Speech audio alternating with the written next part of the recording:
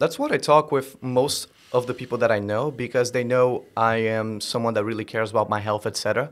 And they always ask me because this is something that many people focus about, which is losing weight, being in shape, etc. Because that's a sign of overall health. Obviously, I'm not talking about the extreme, getting to very, very low body fat, but actually be healthy in general. And what I talk to them is what um, I've talked about calling uh, called the farmhouse diet, in which the first principle, as you mentioned a lot in your book, actually, is just eating foods that can be processed, collected, and done um, in the farmhouse, in which we've been eating for thousands of years. Grains were present, yes, but at the very end.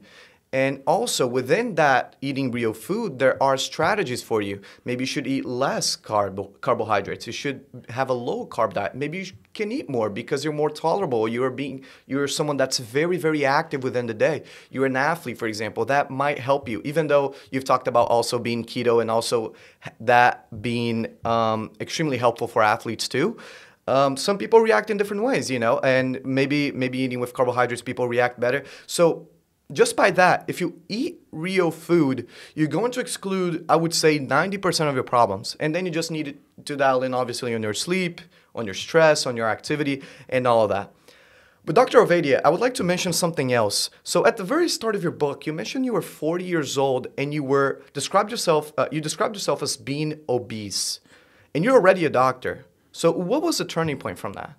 Yeah, and I wasn't just obese. I was what we call morbidly obese, um, you know, and um, I was pre diabetic. And I came to this realization that as a heart surgeon, I was headed for my own operating table, so to speak. I was, you know, following that same path that so many of my patients had followed. And I also came to the important realization that I didn't know how to fix it right? What I had been taught in school, uh, what we all have learned throughout our lives eat less, move more, eat a low fat diet, follow the food pyramid. It wasn't working for me. It wasn't working for my patients. And I just recognized that there needs to be a different way. There must be something out there, right?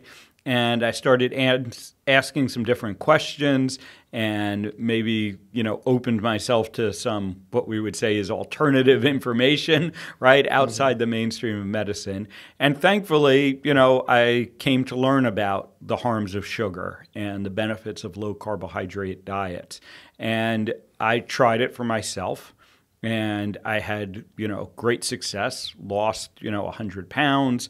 Uh, more importantly, was able to maintain it.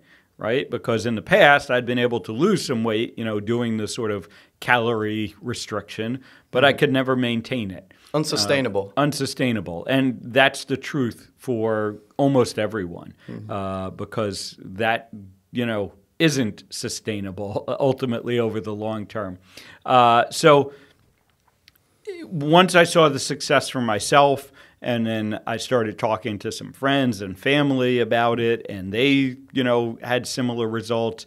And then I was able to, you know, find other practitioners uh, who were doing this and talking about it, uh, and you know, really get into why it works so well, understand the science, and ultimately, you know, and maybe a little bit uh, tangentially, right? Mm-hmm. I then came to recognize that this was the root problem of heart disease itself. Right, I was focused on obesity at first, and you know maybe the pre-diabetes that I had, uh, and I didn't immediately make that connection to heart disease. But as I learned more and more, I realized that you know this is the root cause of heart disease the metabolic problems that come with obesity and and you know are represented by the diabetes and the pre-diabetes uh, that is the real cause of heart disease. And that is what really caused me to refocus my career and you know go on this mission to educate people about how we can finally conquer heart disease. Do you think the approach from allopathic medicine made you think that obesity was one thing and heart disease was another? Because that's very, very crucial to understand. Because I think what most doctors are missing, not to criticize all of them, not, be, not to say that they are people who do not care about our, about our health. They do really care about our health. I, I don't think they, they go through this path, going for med school, studying hours and hours in the in in their desk alone by himself with no um, with no motivation besides himself thinking of delayed gratification about practicing and helping other people. But do you think we should shift more about the uh, allopathic medicine to a more holistic approach? And how can we implement that to medical school? Because I think this is really, really important, not just for me, but all future doctors that.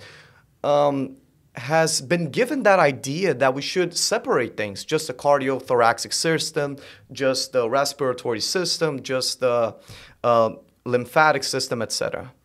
Yeah, you know, there, it, it's certainly a problem, right, that we've become so siloed and so specialized because we do miss those connections, right? The the heart doctor is only focused on the heart disease and the cancer doctor is focused on the cancer, right? And the neurologist is focused on the Alzheimer's disease. And because they're not looking at that whole picture, right? They miss the connection that all of these things come from the same root cause. And if we address that root cause, that you know becomes so much more powerful, right? And you know, getting back to the cholesterol discussion, right?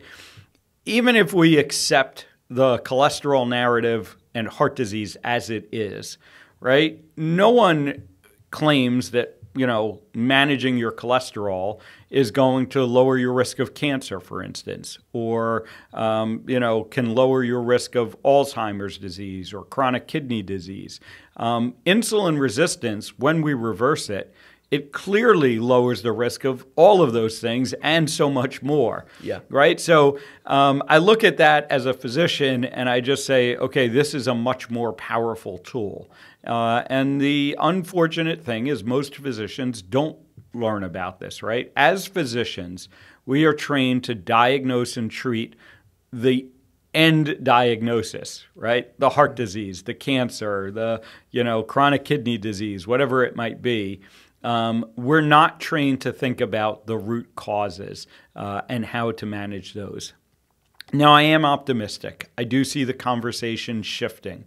Uh, I do see uh, lots of you know medical students and early stage doctors, early career doctors uh, who are thinking about this, and um, at some level, right, doctors are recognizing uh, the futility of what they are doing, right? We talk about um, shortages of doctors. We talk about the burnout that doctors are uh, experiencing.